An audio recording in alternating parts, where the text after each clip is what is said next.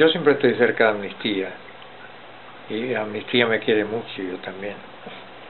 Recuerdo que una vez en una reunión de Amnistía alguien no se sintió bien, pero yo no creo en los derechos humanos, yo creo en la sacralidad de la persona humana.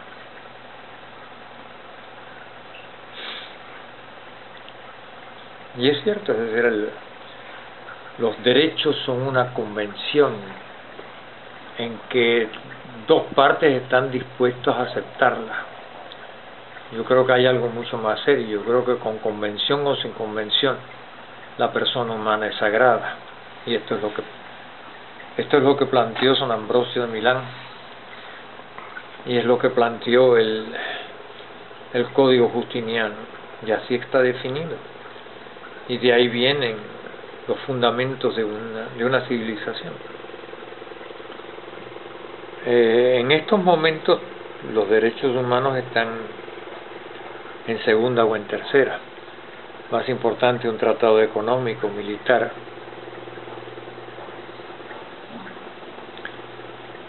No es fácil. Quién sabe, lo único que nos queda es el,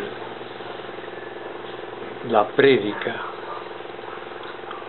el mantenimiento, la insistencia en principios.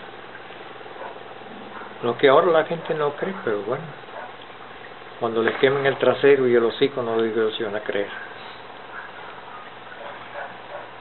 Ya te digo, lo, los de arriba tienen los talegos las armas. Los de abajo con criterio.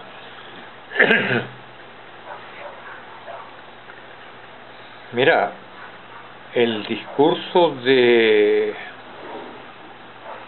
el secretario de la ONU, el nicaragüense con respecto al, a Gaza, fue magnífico, fue tremendo.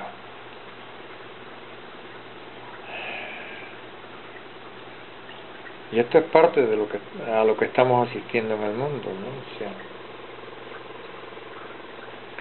aparece un poder que se considera por encima de todo y que puede, con cualquier justificación,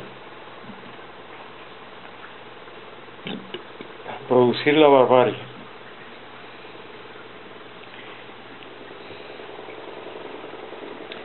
hasta extremos insospechados. si, si hemos desprestigiado la ONU, si hemos atacado a la Iglesia con todo el alma, las fuerzas que en un momento dado han representado el, esa búsqueda del derecho, esa búsqueda de la razón universal, están desprestigiadas actualmente. ¿no? Por eso nos interesa mucho hablar de derechos humanos. Pero en fin. Ya vendrán tiempos mejores.